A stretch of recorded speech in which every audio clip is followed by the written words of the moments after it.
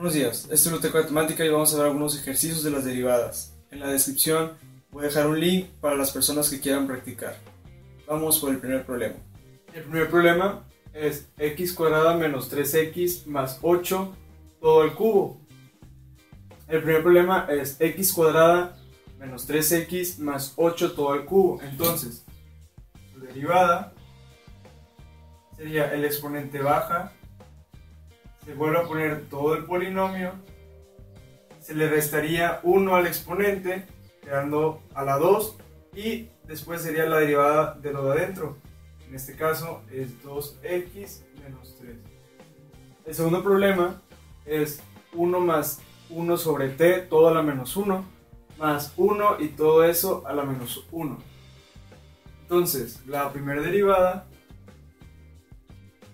con respecto a t sería el exponente baja, poniendo de nuevo todo lo que está dentro.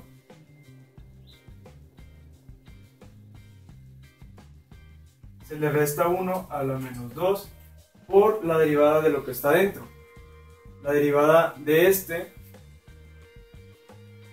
pues sería de nuevo menos 1 por todo lo que está dentro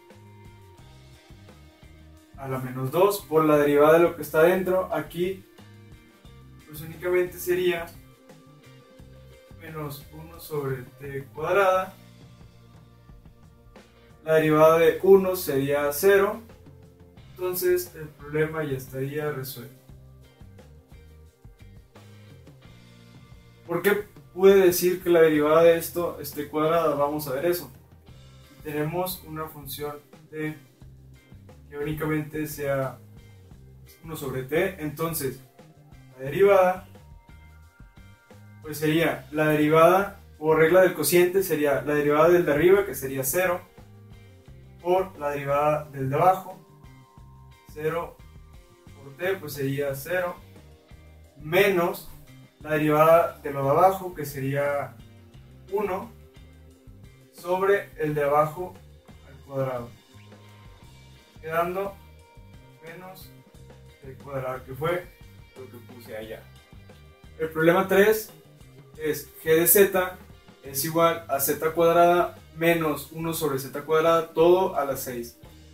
Su derivada respecto a z sería el exponente baja, se vuelve a poner todo el polinomio a la 5 porque recuerden que le restamos 1 por la derivada de lo de adentro, en este caso sería 2z.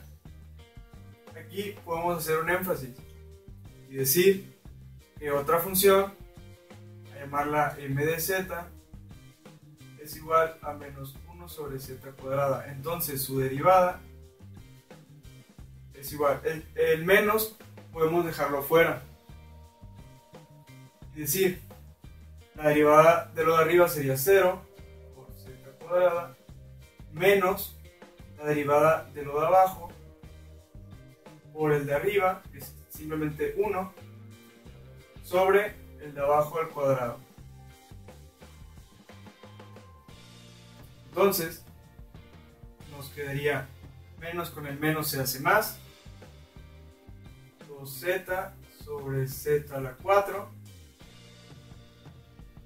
Quedando 2 z al cubo, entonces aquí la respuesta sería más 2z al cubo. Y ese sería el tercer problema.